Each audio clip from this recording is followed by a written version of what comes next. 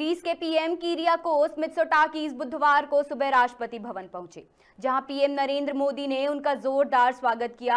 आपको बता दें ग्रीस के प्रेसिडेंट नई दिल्ली में शुरू हो रहा रायसीना डायलॉग के चीफ गेस्ट हैं। उन्होंने प्रेस, प्रेसिडेंट हाउस में मीडिया को संबोधित करते हुए कहा कि हमारे लिए भारत आना सौभाग्य की बात है। हमारे लिए रणनीतिक साझेदारी विशेष महत्व रखती है। बता दें, रायसीना डायलॉग वैश्विक मुद्दों पर चर्चा का मांग है। इसमें मुख्य तौर पर 100 से ज़्यादा देशों के विदेश मंत्री बैठक करते हैं। वही रायसीना डायलॉग में हिस्सा लेने के बाद मित्सोटाकीस मुंबई भी जाएँगे।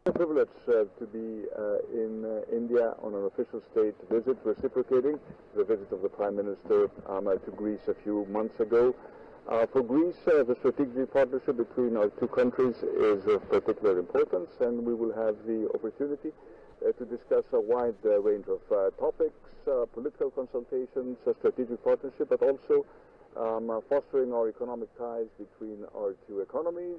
so it's a real privilege to be here, and I'm really looking forward to the discussions we will have the Prime Minister.